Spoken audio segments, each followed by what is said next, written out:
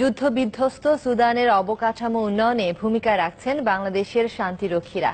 তৈরি করে দিচ্ছেন রাস্তাঘাট, ব্রিজ, কালভার্ট সহ প্রয়োজনীয় অনেক স্থাপনা। এর ফলে কেবল স্থানীয়রাই উপকৃত হচ্ছেন না, বিশ্বে বাংলাদেশের ভাবমূর্তিও উজ্জ্বল হচ্ছে। দক্ষিণ সুদান ঘুরে এসে আরও জানাচ্ছেন হাসান শুভ্র। পূর্ব মধ্য আফ্রিকান ভূখণ্ড দক্ষিণ সুদান। আয়তনে যা বাংলাদেশের চার গুণ। লম্বা সময়ের পরাধীনতা ভেঙে দু হাজার এগারো সালে দেশটির সার্বভৌমত্ব পায় ঠিকই, কিন্তু সাত বছরে ন্যূনতম উন্নয়নের ছোঁয়াও লাগেনি এ জনপদে।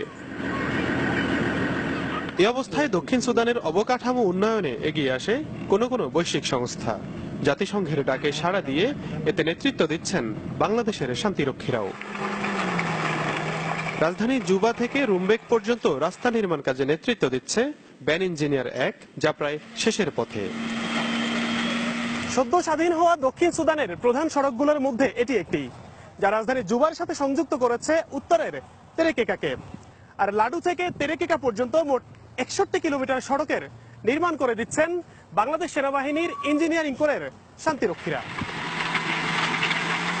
বৃষ্টির কারণে আমাদের কিছু কাজ বিঘ্নিত হচ্ছে, যার কারণে আমরা আমাদের টাইম ফ্রেমের আগেই কাজটা শেষ করতে পারতেছি না, কিন্তু টাইম ফ্রেমের মধ্যে কাজটা অবশ্যই শেষ করতে পারব বলে আশা রাখি। মাত্র এক দশক আগেও যে পথ ছিল হাঁটার অনুপযোগী সে পথে এখন বেশ হেলে দুলেই চলে সব ধরনের বাহন। পিছলে পিছলে আমাদের গাড়ি মেইন রাস্তা থেকে নিচে নেমে যাচ্ছিল। আমরা সেগুলিকে আবার টোয়িং করে উপরে উঠে নিয়ে আসতাম এনে তারপর আবার পুনরায় যাত্রা শুরু করতাম। এখানে অনেক বড় বড় গর্ত ছিল যাতে দীর্ঘ সময় ধরে পানি জমে থাকতো। বাংলাদেশি শান্তিরক্ষীরা সত্যি তাদের দক্ষতার পরিচয় দিয়েছে। বাংলাদেশের শান্তিরক্ষীদের দক্ষতা ও কর্তব্য নিষ্ঠায় দারুণ মুগ্ধ দক্ষিণ সুদানে জাতিসংঘের চাইনিজ সেক্টর কমান্ডার। Fasting, রোজা রেখেও শান্তিরক্ষীরা যেভাবে মান বজায় রেখে দ্রুত কাজ করে যাচ্ছেন তা সত্যি অসাধারণ এবং তাদের কাজে আমি দারুণ খুশি. রাজধানীর অদূরে ড্রুপি এলাকায় ইউএন ক্যাম্প নির্মাণ ছাড়াও নীলনদের ভাঙন রোধে বাঁধ তৈরি করে দিচ্ছে ইউনিটটি।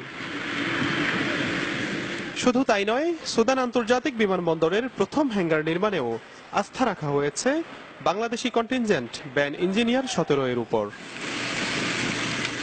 সেবামূলক কাজে ভবিষ্যতে বাংলাদেশের অংশগ্রহণ আরও বাড়বে, এমনটাই মনে করেন সংশ্লিষ্টরা। Hasan Shubhro, channel twenty four Juba দক্ষিণ সুদান।